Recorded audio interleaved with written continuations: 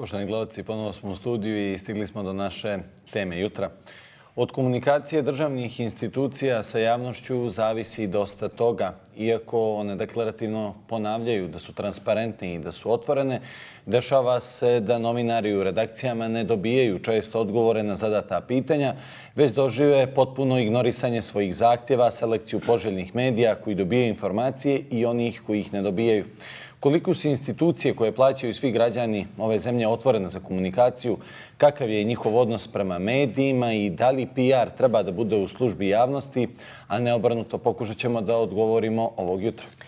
Podsjećamo, ukoliko želite da pitate naše goste nešto na ovu temu, pišite nam na naš Viber broj 068 8383 P3, a da sada predstavimo i naše goste u studiju. Sa nama je savjetnica u Vladinoj službi za odnose sa javnošću Suzana Radević. Gospodin Radević, dobro jutro, dobrodošli. Dobro jutro, hvala na pozivu i pozdrav za vaše gledalce. Naravno, sa nama je specijalista za eksterne komunikacije elektroprivrede Crne Gore, Eleonora Albijanić. Gospodin Albijanić, dobro jutro, dobrodošli. Dobro jutro. Sa nama je urednik informativne redakcije Adrija televizije, Đorđe Saović. Gospodine Saović, dobro jutro. Dobro jutro, pozdrav vama, ostalim gostima i svim gledalcima vaše televizije. Hvala vam. I sa nama je urednik informativne redakcije televizije Vijesti, Radomir Kračković. Gospodine Kračkoviću, dobro jutro, dobrodošli. Dobro jutro, pozdrav za vas i vaše gledalce.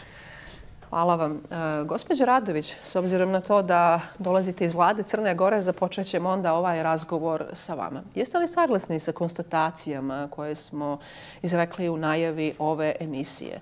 Zašto vlada toliko loše komunicira sa javnošću i medijima? Zašto pojedini novinari dožive potpuno ignorisanje zahtjeva ili nedobijanje odgovora na zadata pitanja? Da li je posao odnosa sa javnošću i vaše službe da uvijek novinari dobiju odgovor na zadata pitanja. Bili ste novinar pa i sami znate kako Sad sam htjela da kažem, deset godina sam radila u novinarstvu e, i ako šta znam, znam koliko je važno da uopšte imate, dobru da imate neku komunikaciju e, sa institucijama, sistema e, i vjerujte mi da ako govorimo o činjenicama, ne postoji ni jedno pitanje koje smo mi dobili, a na koje nije odgovoreno.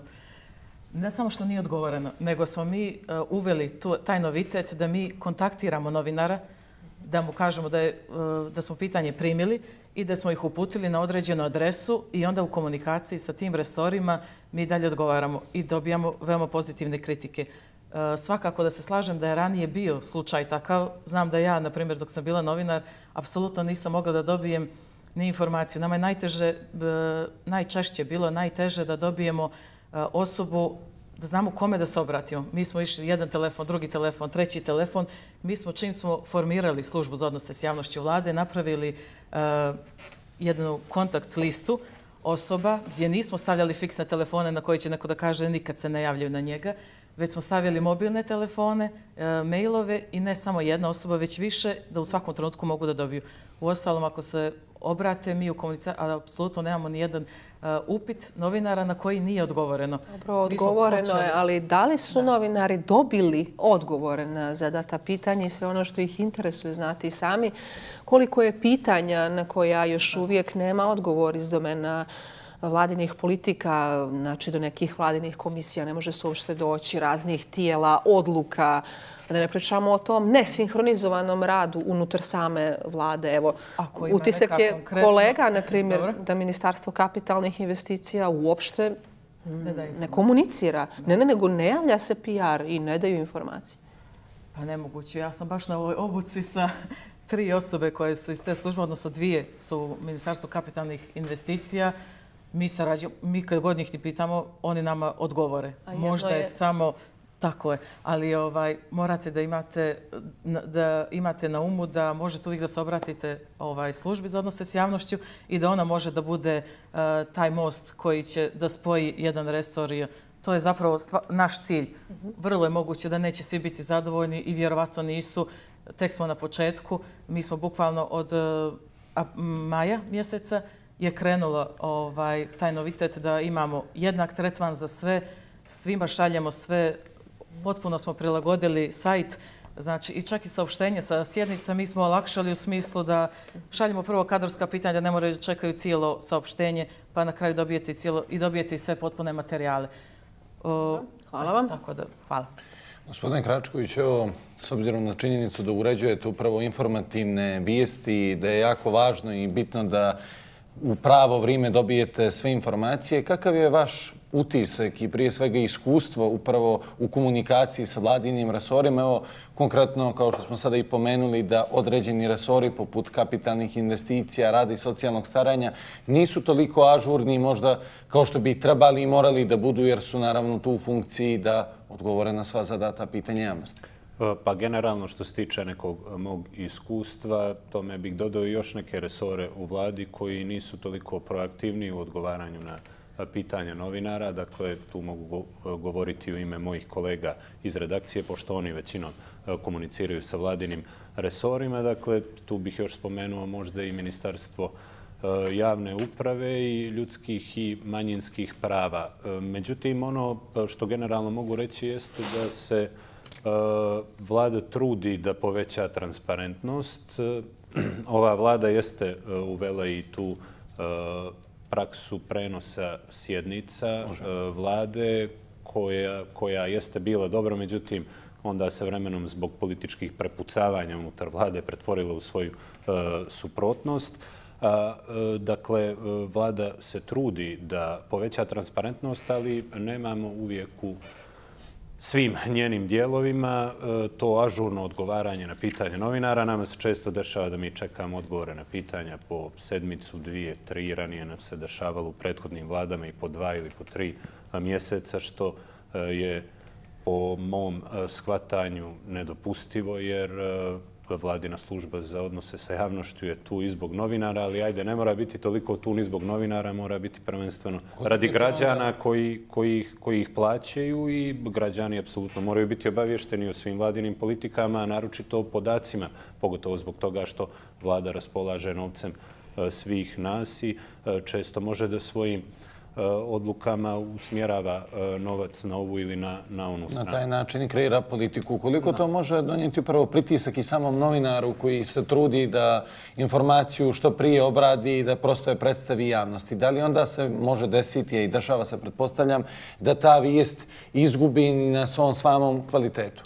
Pa To se naravno dešava. E, međutim, ono što ja uvijek e, imam savjet za svoje kolege i za sve druge novinare jeste da, da budemo strpljivi. Kad tad će ta informacija biti objavljena? Ukoliko ona ne bude objavljena u prvoj iteraciji, ukoliko iz raznoraznih razloga PR služba vlade ne želi da vam da e, dakle, određenu informaciju, i vi ćete kasnije na nekom događaju postaviti pitanje i direktno suočiti čelnika tog resora sa, sa tim i onda će on morati da odgovori i da, i da pružite e, podatke. Tako da e, moramo naravno shvatiti, mi smo novinari, da s druge strane imamo PR službe koje se trude da maksimalno promovišu naravno rad organa u kojem pa rade i naravno oni će se uvijek truditi ukoliko ima neko kontroverzno pitanje da ga izbjegnu. Da, pa da ga izbjegnu najduže moguće. Mislim, to jeste njihov posao, kao što je naš posao da E, saznajemo o čemu se radi. Dobijemo odgovor, da. Hvala vam. E, gospodine e, Savoviću, nedavni slučaj sa nedostatkom grijanja u kolašinskim školama i naknadno reagovanje Ministarstva prosvjete, dakle, nakon što je šteta napravljena, E, o tome da dobavljači energenata treba da pokažu odgovornost, možda najbolje svjedoči o tome e, da se iz vladinih institucija reaguje pošto e, nastupi šteta. Zašto nas i naše službe i naše resore iznenađuje hladnoća u novembru i kiša tokom zime? Pa, koliko nam je smjuče objavili prilog, ni juče nije bilo grijanje u toj školi i bio je protest učenika i protest roditelja. Nadamo se, evo, možda i mi da apelujemo da se što prije riješi taj, taj problem. Tako da čak i kad izađete u javnost nekim problemom, to vam baš ne garante da će onda bude riješen. Što se tiče samih PR službi, e, tako je, ima pomaka pozitivnih, moram biti fair kada je u pitanju rad vlade Crne Gore, međutim postoji i neke od ranije loše iskustva. Opet ovdje vi ste rekli da ćete dobiti odgovor neko pitanje, zavisi kako pitanje postavite. Ako je to pitanje, aj poznali smo navoda škakljivo za neki državni organi vladu, velike su vam šanse da ga nećete blagovremeno dobiti. A ako ima neko pitanje koje afirmiše taj državni organ i upravu, onda možda i od medija očekuju da kažem da se to objavi na sva zvona i da se da tome nekom rezultatu možda i veći medijski gabaritet nego što on realno zaslužuje. Opet, ako je škakljivo neko pitanje, u većini nekih slučajeva od nekih ministarstava nećete baš dobiti odgovor na vrijeme. Da, gospođa Albijenić, gdje su problemi u PR službama? Da li je u tome što su to, taj posao rade nestručni ljudi, ljudi koji nijesu zato kvalifikovani ili ajde da možda ne svaljujemo samo krivicu na PR-ove, nego da porazgovaramo i o čelnicima tih institucija, jer PR traži odgovore od njih. Pa jesu li ti čelnici uvijek svjesni velikog uticaja medija? I umiju li baš da komuniciraju s medijima? Pa ja vjerujem da su svjesni uticaja kojeg e, mediji imaju.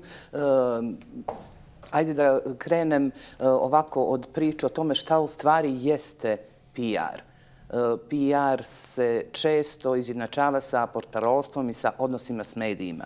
PR je puno širi nego što su odnosi s medije. Imam 30 godina iskustva, odnosi s medije su možda, ajde da kažem, 20-30 odsto vašeg posla odnosi s javnostima su e, ozbiljna profesija. E, odnosi s javnostima podrazumijevaju ne samo da ste vi portparol i da prenosite eh, informacije koje vam neko drugi kaže. Odnosi s javnošću su znači profesija koja podrazumijeva da je vaš zadatak da uspostavite i održavate odnose povjerenja sa svim javnostima koje jedna institucija ima. Mediji su samo jedna javnost. Mediji su jako bitna javnost jer ne samo što su javnost, nego su i naš, ajde da kažem, multiplikator. Oni su kanal komunikacije koji mi koristimo da našu poruku prenesemo, prenesemo javnostima koje, kojima mi hoćemo. Zbog toga treba, e, da tako kažem, ih shvatiti ljude koji se bave odnosima s javnošću. E, razni, razni su protokoli, razni, razni su pravilnici i pravila kako u jednoj organizaciji funkcioniše PR služba. E, prije svega, pozicioniranje same PR službe je jako bitno. PR je funkcija u upravljanja, neko ko se bavi PR-om, mora biti na svakom sastanku menadžmenta e, neke organizacije. PR mora da zna sve o čemu se radi. Tako, ili je pa, baš e, suprotno da PR samo je mikrofon nečega što je već formirano u, Crnoj Gori, u e, nekom kabinetu. Stanje PR-a takvo da imamo, da kažemo, službe koje boluju još neke dječije bolesti do PR službe koje, morate se evo, složiti, novinari prate neke najsavrmenije svjetske trendove. Tako da u Crnoj Gori imate od dječjih bolesti do baš savremenog vođenja komunikacije sa javnostima. Tome smo svjedoci e, svakog dana.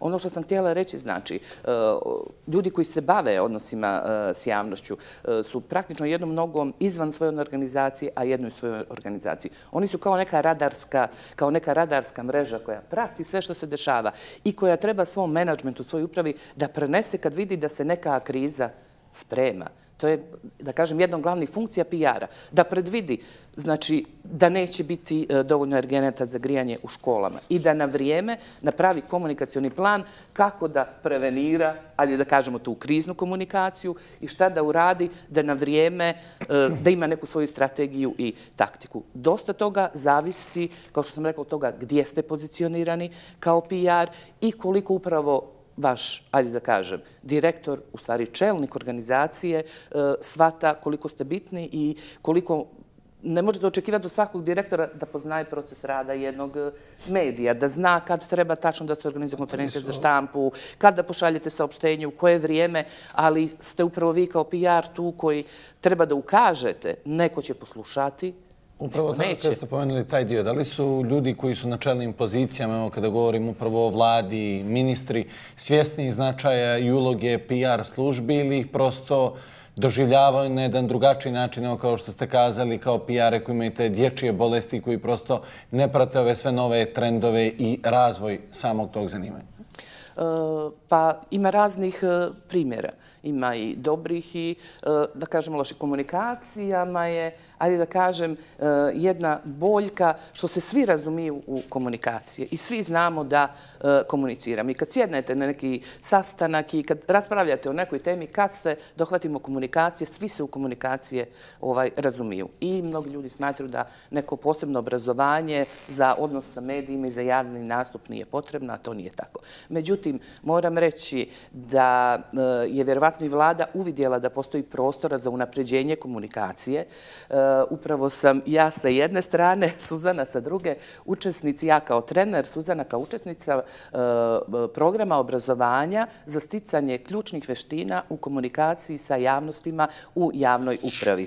Ovaj program obrazovanja organizuje Uprava za ljudske resurse u saradnji sa službom za odnose s javnošću vlade Crne Gore. Taj program je eh, u toku, negdje polovinom decembra će se završiti. Već je prošlo 9-10 modula, eh, ima oko 15 predavača, ljudi koji imaju veliko iskustvo u odnosima s javnošću i koji znači, obučavaju jednu divnu ekipu mladih ljudi koji su počeli da rade u odnosima s javnošću. Ima tu i vaših kolega novinara koji su sad e, prešli na ovu drugu stranu i jako bi bilo lijepo e, čuti možda i nekog od njih, nekog od se već možda tri, četiri godine e, bavi PR-om. Dosta koleginica iz televizije Vijesti Vačik je prešlo u PR vode. I sada kad sa njima pričate, oni kažu da su potpuno drugačije zamišljali PR u odnosu na to kad su stvarno njime počeli da se bave. Ljubice i vi ste također, jel tako, mijenjali ovaj strane strane. Bila malo PR-u, jeste, ali ljepša je novinarstvo.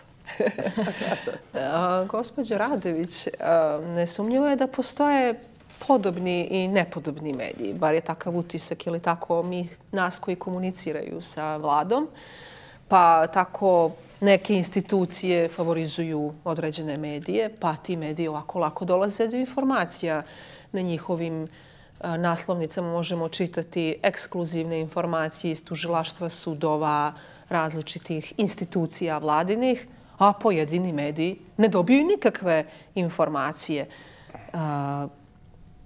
Dobro, posle ćemo porazgovarati o ovim transkriptima komunikacija koje objavljuju neki mediji bezbjednostno interesantnih lica. Da li to govori o tome da ne postoji strategije na nivou vlade, nego prosto neki odmetnuti dijelovi koji daju neke informacije podobnim medijima? Kako vi to komentariš? Što se tiče službe za odnos s javnošću, imamo taj jedan mail i svima se šalje jedno te isto, e, bez ikakve favorizacije. Nema, znači, kao što sam rekla, on jednak tretman za sve, to je nešto što smo mi uveli i čega se stvarno držimo. A ovaj, Dobro, na nivou postoji... vaše službe, ali na nivou pojedinih institucija pojedin, uvijek da. postoje neki pojedinci koji će dati neke Tako je, ali to, vjerujte mi, nikad ne bude iz PR službe. Mislite? Bude neka osoba koja, jer ne mogu, PR služba nema toliko materijala U smislu, ne dobijete vi sad sav materijal i raspoložate. Mi samo kad se interesamo za neki materijal, onda dobijete malo više podataka ili onoliko koliko je potrebno. A sad da mi imamo sve moguće materijale kao da smo na čelu neke ovaj, institucije, nemamo. Tako da slažem se da postoje curenje informacije, ali kako bi mi novinari dobijali inače ovaj, nešto ekskluzivno. E, tako da, ali što se tiče službe, ono što mi možemo da komuniciramo, i unutar resora i ka medijima mi zaista nemamo favorizaciju. Navešću konkretan primjer. Pobjeda je prije nekih 15 20 ili mjesec dana objavila informacije iz uprave za prihode o tome koje niko u tom trenutku nije imao o određenim komandnim linijama, određenim kadrovskim reformama koje su se u toj instituciji dogodile, pa su na osnovu toga pretpostavljale neku ulogu Rada Miloševića u švarcu cigareta. Da li vi u tom slučaju imate neku komunikaciju s tom upravom za prihode i carine i da li onda PR služba reaguje kada neke informacije iscure na nivou vlade? Vjerujte mi da i te institucije reaguju kad se neki tekst objavi.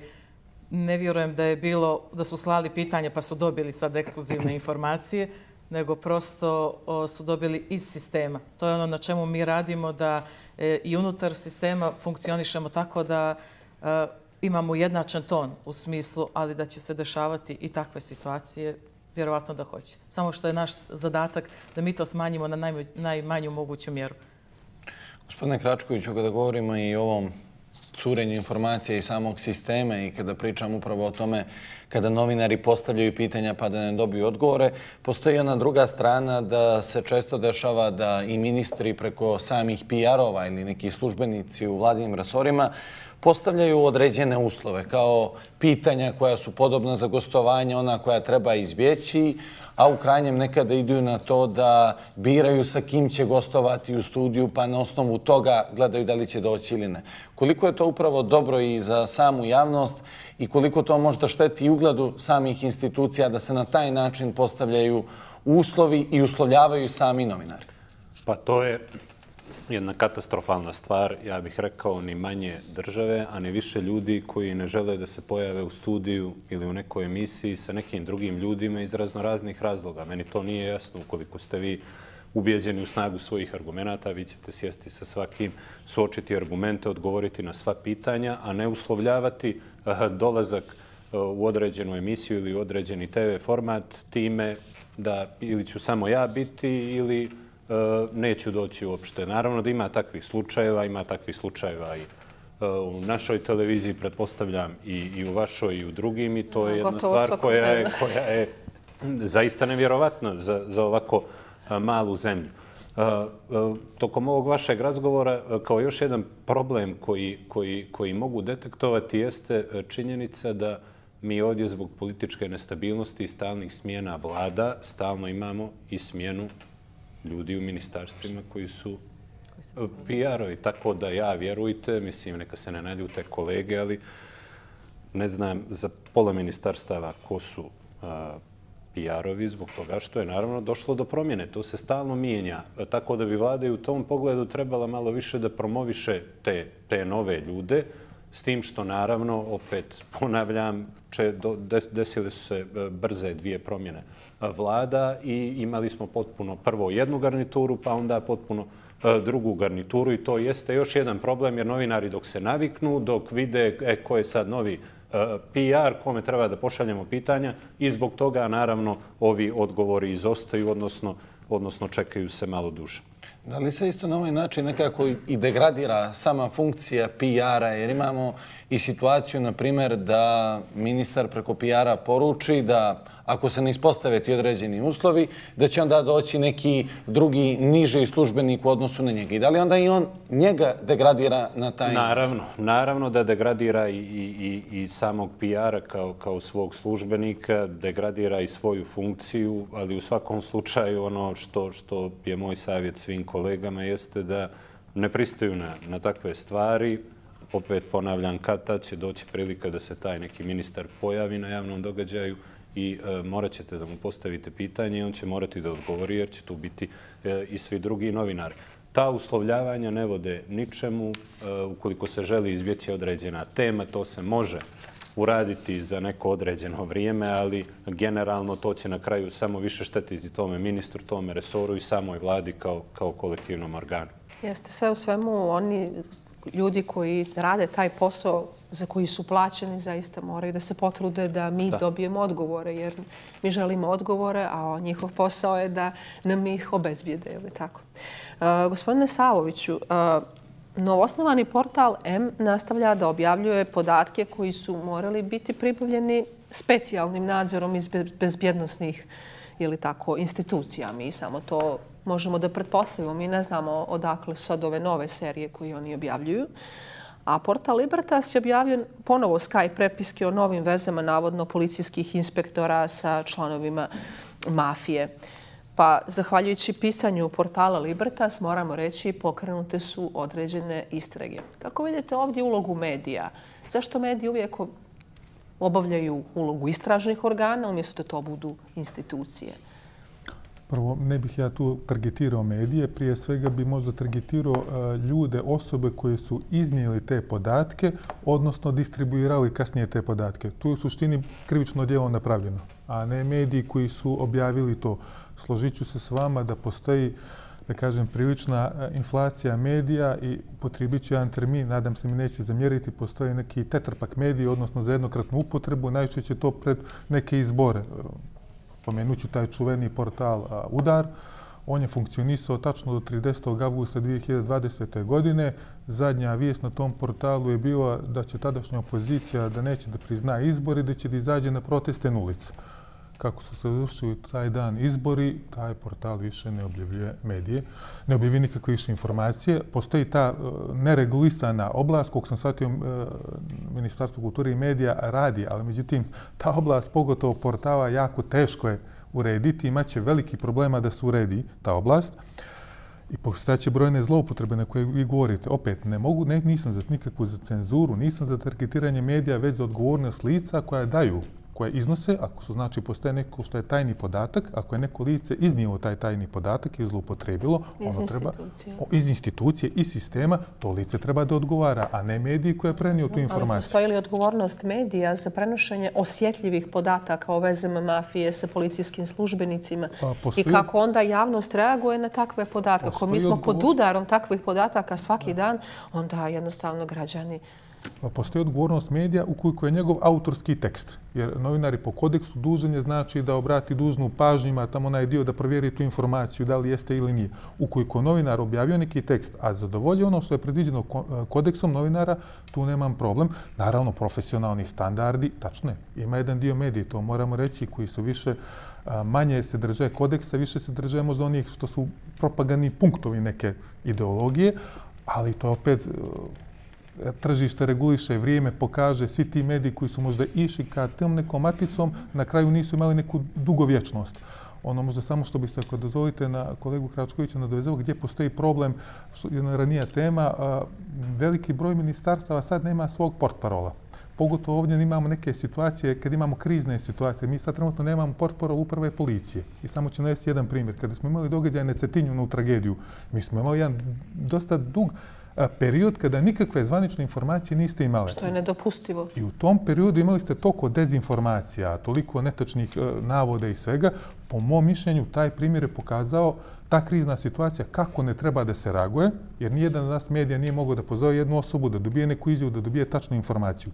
Pa podsjetimo i direktor policije je dosta kasno reagovao u tom slučaju. Mislim, 10 sati uveče da je bio ispred uh, Cetinske bolnice, oni i premijer da su dali ova izjavu, znači kažem, jedan značajan period je prošao. Mislim da je to krizna situacija koja pokazava kako ne treba da se radi i možda da je postao portparo uprave policije kako je ranije nekad bilo, da možete direktno da ga kontaktirate, da možete makar neku osnovnu informaciju da dobijete. Mislim, ta neka ministarstva koja ajde, neka možda ima manje kriznih situacija, evo ta neka ključna, moralo bi da imaju svoje portparole koji su makar dostupni u tim situacijama.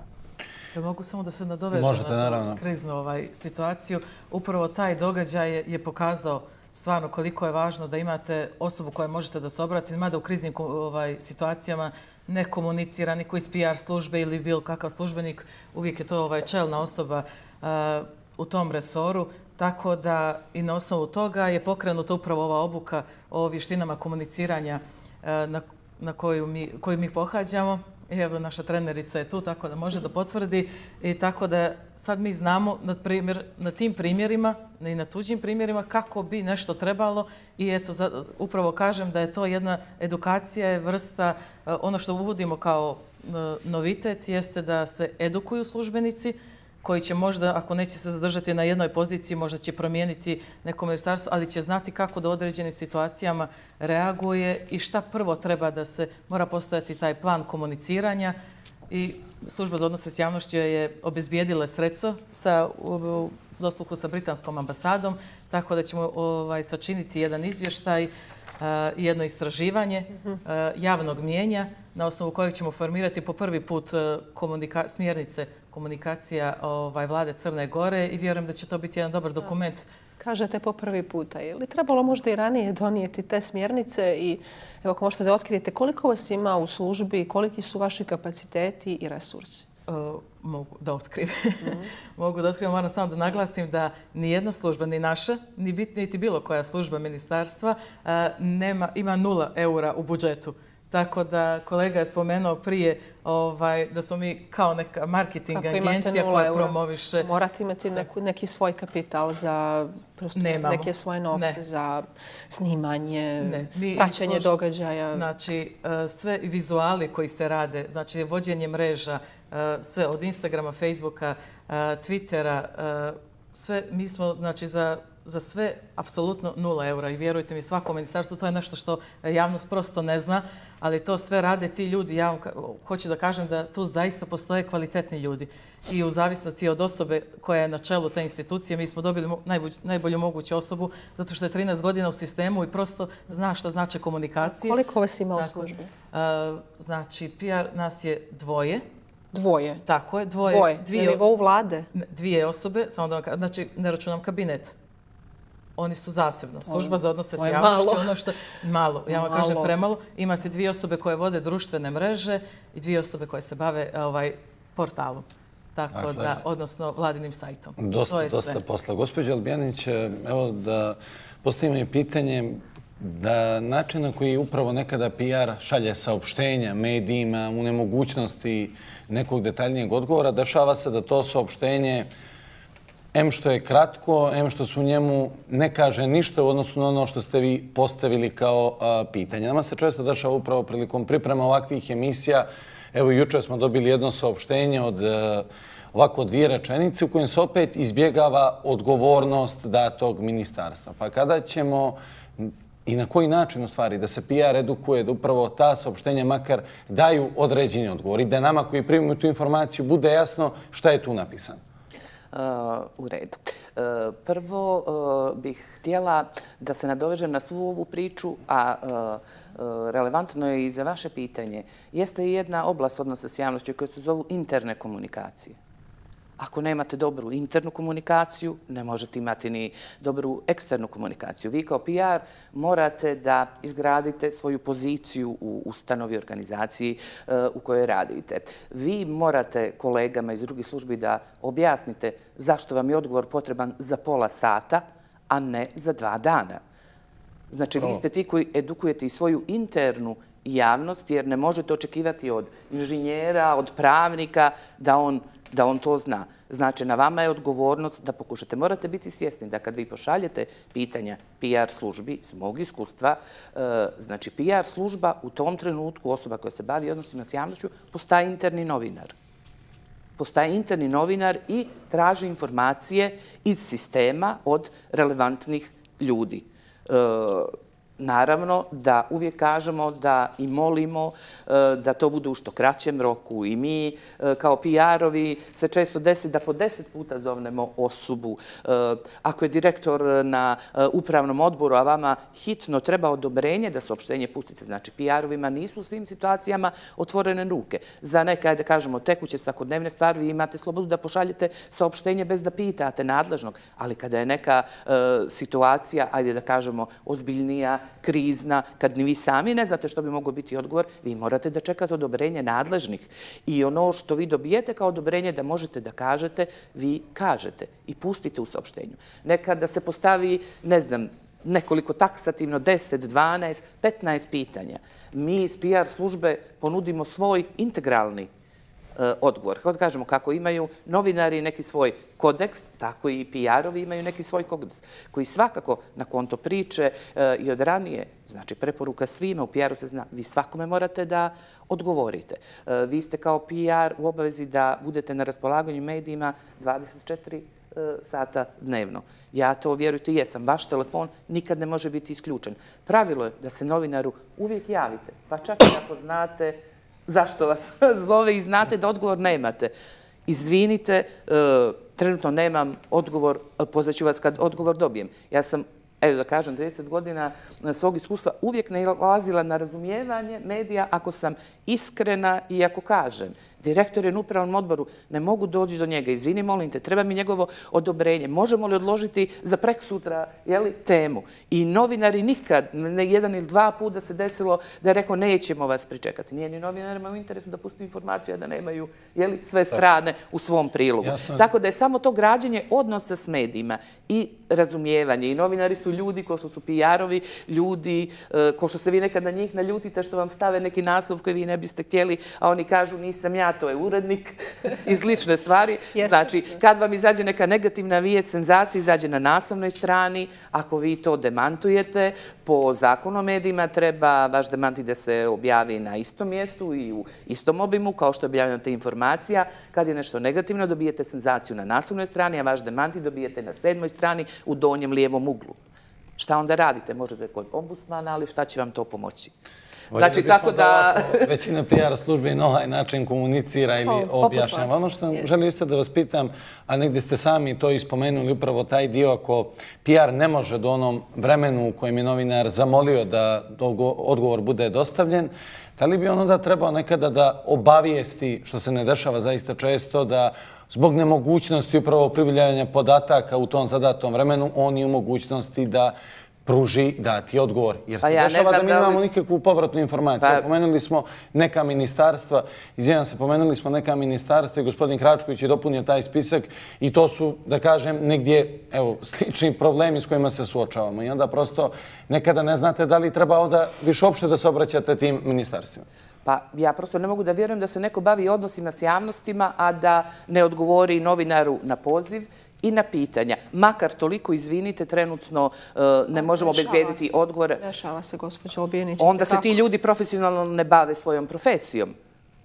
Ajde da to tako nazovemo. Znači, osnovno je pravilo odgovoriti mediju. Pa i kad nemate odgovor i kad znate e, da je krizan, nemam odgovor. Nemam odgovor. Stvarno nekad nemate odgovor. Može se doći do odgovore. Hvala. Nije da se možda nekad ne može doći. Možda ćete e, vi nekad ono i doći, ali treba vam vrijeme da sklopite te poruke, da sa svim usaglasite. E, upravo ono što učimo na ovoj obuci jeste e, jedna vlada, jedan tim, jedan glas mora biti sve sinhronizovano. I u toj sinhronizaciji, ako imate upravu prihoda, u toj priči vratno onda imate ministarstvo financija, pa onda možete poći do vlade dok vi sklopite informaciju i odgovor. To je jedna stvar. Znači, interna komunikacija je jako bitno. Ako nemate internu komunikaciju, ako vi unutar svoje organizacije, bilo to ministarstvo, preduzeće, nemate izgrađenu poziciju, jeli i ono kad dobijem mail od Nore, aha, moram ovoj Nori odmah da e, odgovorim, ali to je na vama, na PR-u da gradite. I samo sam htjela oko krizne komunikacije, koja je jako bitna. Krizna komunikacija, ajde da kažemo, nije, e, nije samo, da kažemo, izazovna, da ne kažemo problematična e, u ovim nekim e, vladinim jeli, stvarima. Ona je generalno na nivou Crne Gore, Boga mi regije i šire, e, jedna e, oblast kojom se ljudi e, ne bave. Svaka organizacija trebala bi da ima svoj krizni plan komunikacije. On se znači ne pravi za jedan dan, niti se pravi ad hoc. Da biste imali krizni plan komunikacije, morate da imate krizni management plan. Ono što PR priča, to mora i da se radi. Ako PR priča nešto što se ne radi, onda će biti u velikom problemu. Znači, treba da pričate samo ono što se radi. Krizna komunikacija je jako bitna. Ja sam radila jednom uh, uh, mobilnom uh, operatoru koji je i tekako upravo iz nekih negativnih primjera iskustava imao krizni management plan i plan krizne komunikacije gdje se tačno zna ako se desi kriza, u ko, znači mora se okupiti odmah krizni komunikacioni plan, krizni komunikacioni tim, tačno sam da u tom timu, što je rekla Suzana, ko komunicira, kad komunicira, ili to za pet minuta, kad se ja... Bitno je drugačije korporativni, korporativno Ali to ne, komunikacija je komunikacija. Državnih institucija, ja sam tamo bila i zaista znam kako je biti tamo. Mada je kod mene bilo zaista u mom slučaju niz, vjerovatno nekih otežavajućih okolnosti. Ali plan krizne komunikacije mora svako da ima, nema veze da li je u ministarstvu ili je u nekoj drugoj. I u tom smislu, znači, postoje tačno pravila kojih se neko mora... Mi smo vježbali, mi smo, svakog mjesta, mi smo svake godine imali realne vježbe neke krize i bili smo spremni i svake krize smo nešto novo, ovaj, da kažem, naučili. Tako da je to jedna oblast koju se malo pažnje e, poklanja i kad se desi kriza, onda se desi ovaj neki zastoj, zastoj u komunikaciji. Svaka organizacija u Crnogori, vlada, ministarstvo, treba da ima svoj plan komunikacije u kriznim situacijama. Naravno, gospodine Kračkoviću, šta nam govori e, ovo što nam je saopštila gospođa Radević da na nivou cijele vlade e, služba koja treba da komunicira, dakle upravlja svim drugim službama, komunicira s javnošću, medijima, ima samo dva službenika i nula eura na računu raspoloživih resursa? Pa meni je više zaparalo uši to što postoje dva službenika koja se bave odnosima s javnošću plus dva službenika za društvene mreže.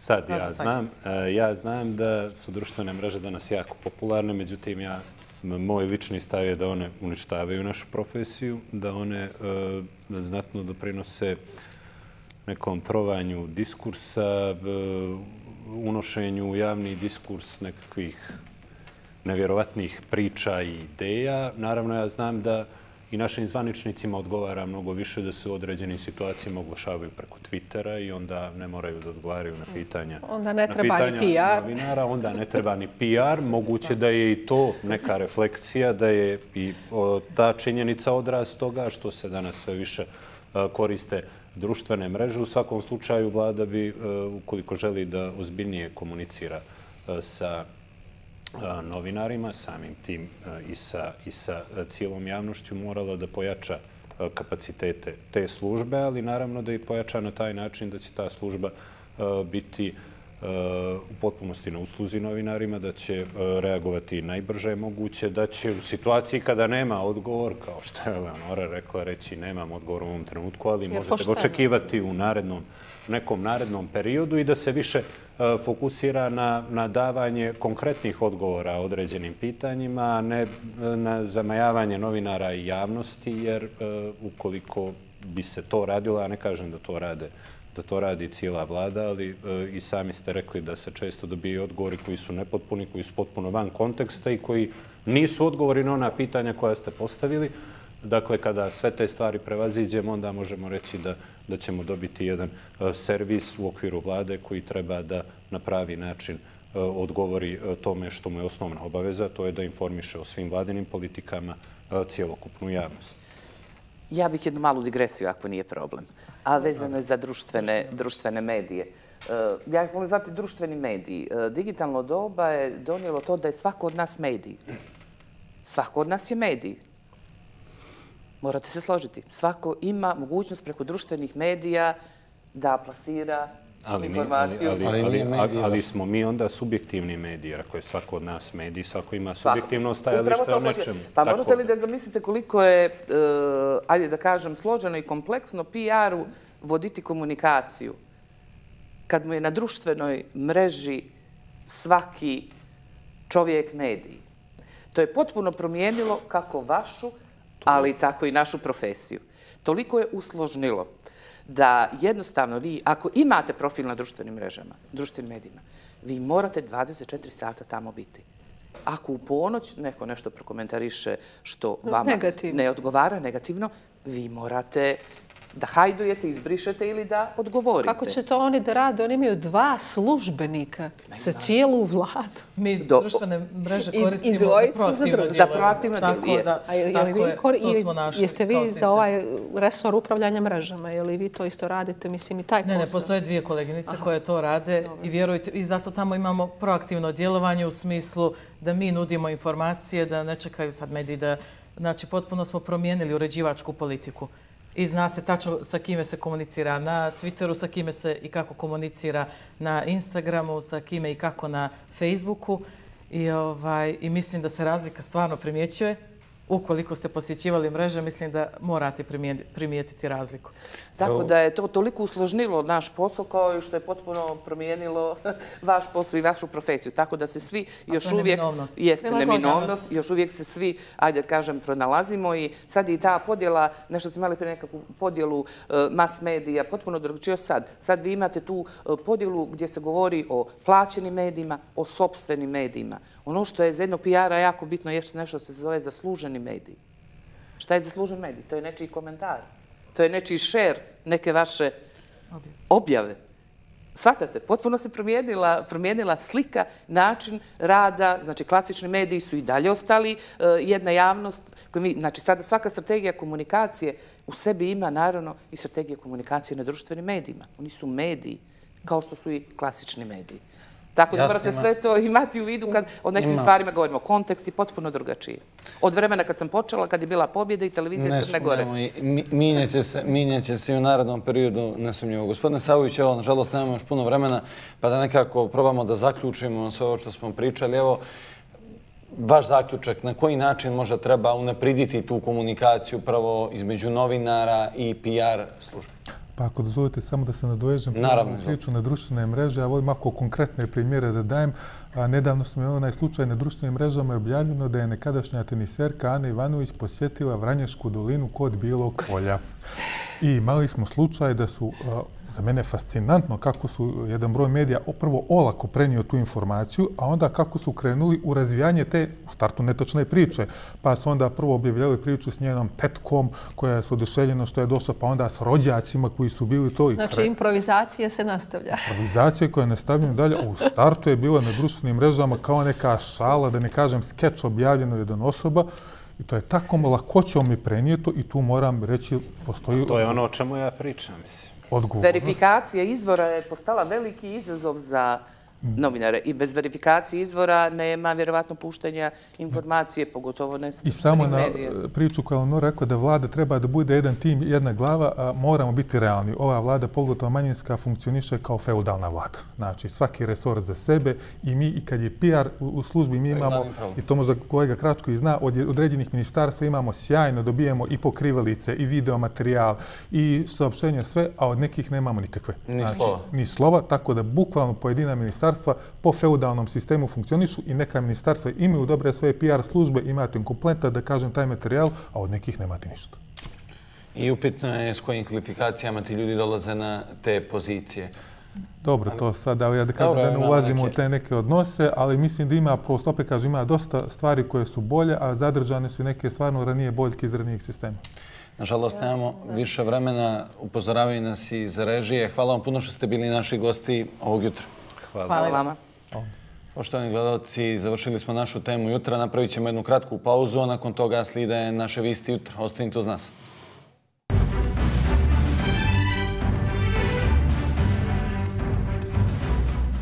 U delu Evrope